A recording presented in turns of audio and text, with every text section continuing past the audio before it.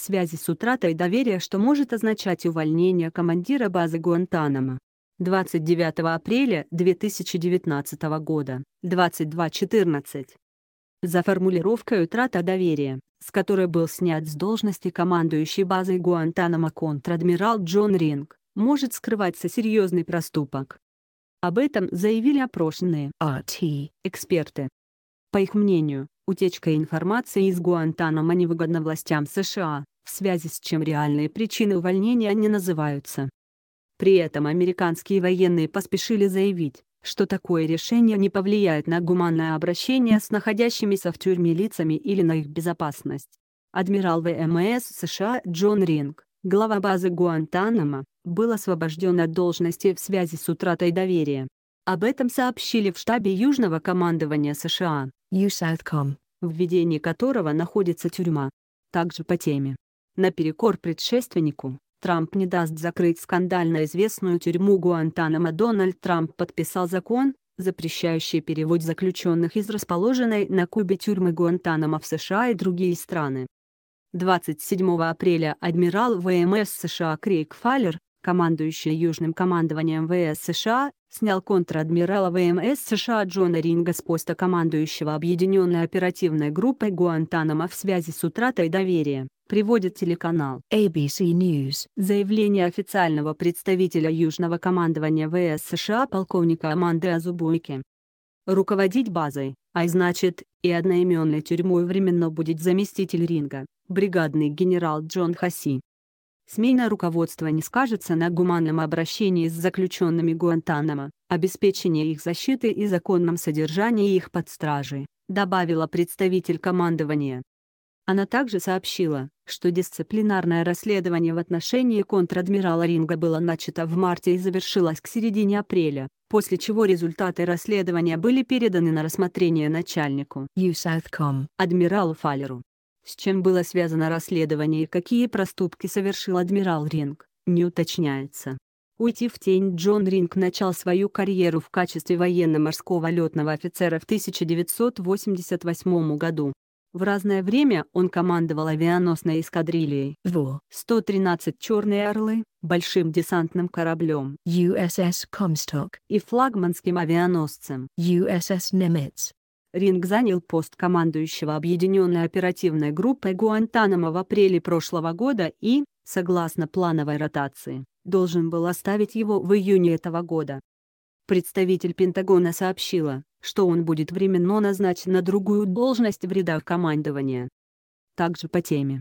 Пентагон запретил узникам тюрьмы в Гуантанамо смотреть RT. Американское издание Miami Herald сообщило, что RT исключен из списка каналов, доступных для просмотра узникам тюрьмы в Гуантанамо.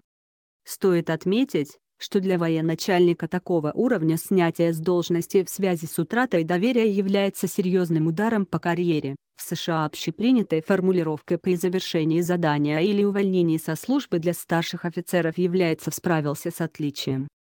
Подавляющее большинство командиров завершают свои миссии с отличием. Когда они терпят неудачу, мы считаем наших лидеров ответственными за провал, что отражает то значение, которое мы придаем доверию общественности к нашим военным лидерам, отметила представитель командования Аманда Зубойки.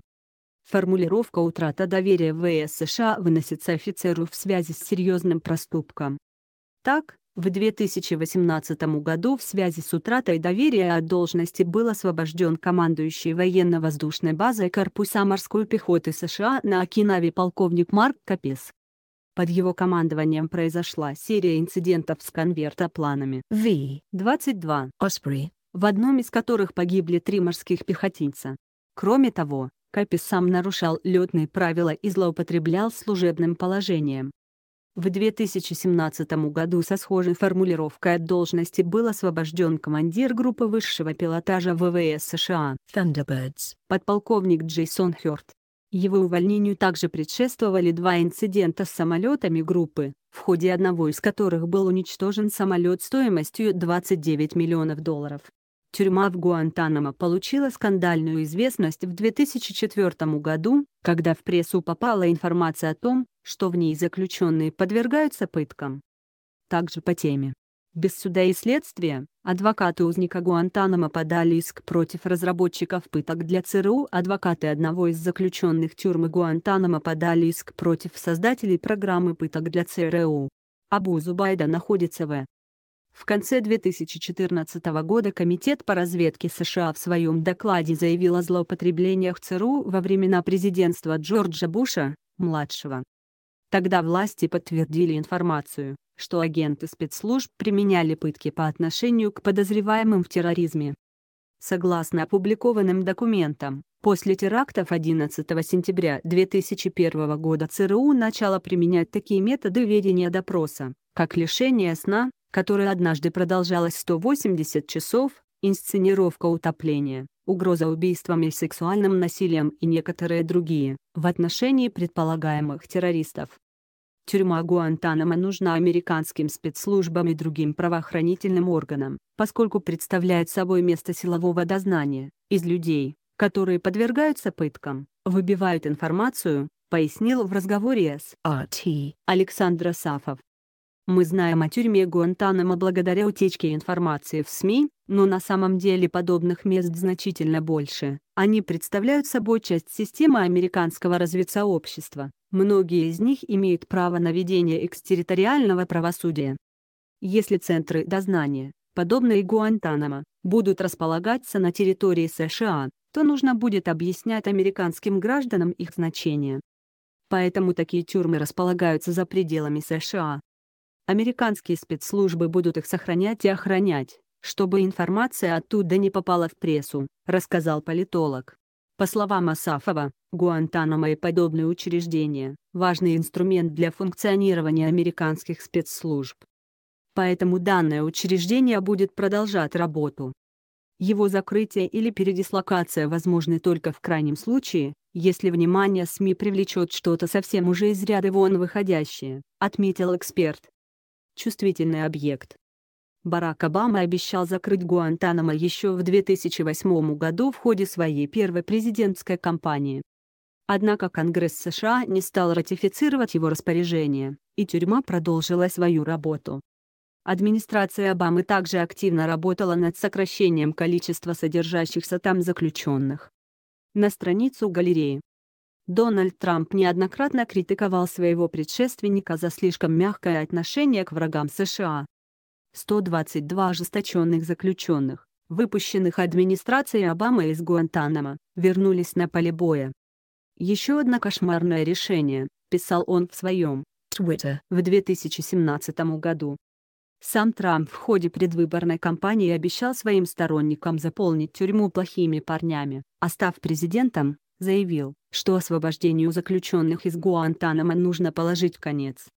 Больше не нужно освобождать из Гуантанамо. Они крайне опасные люди, и им не должно быть позволено вернуться на поле боя, говорил американский лидер. В мае 2017 года Трамп подписал указ о запрете перевода узников Гуантанамо в другие тюрьмы сверхстрогого режима на территории США, фактически продлив работу тюрьмы на Кубе на неопределенный срок. Сейчас в тюрьме, по разным данным, содержится около 40 заключенных. Трамп будет всячески пытаться возложить всю ответственность за действия США в незаконных тюрьмах на предыдущую администрацию и менять неугодных ему руководителей, считает эксперт Международного института гуманитарно-политических исследований Владимир Брутер. Когда правосудие действует на территории США, приходится отвечать на вопросы журналистов. Все, что происходит в таких тюрьмах, как Гуантанамо, не должно афишироваться в СМИ, чтобы американское население ничего не знало о совершаемых там преступлениях. Поэтому увольнение командующего базой было произведено без подробностей, и о его подлинных причинах общественность может так и не узнать, заключил эксперт.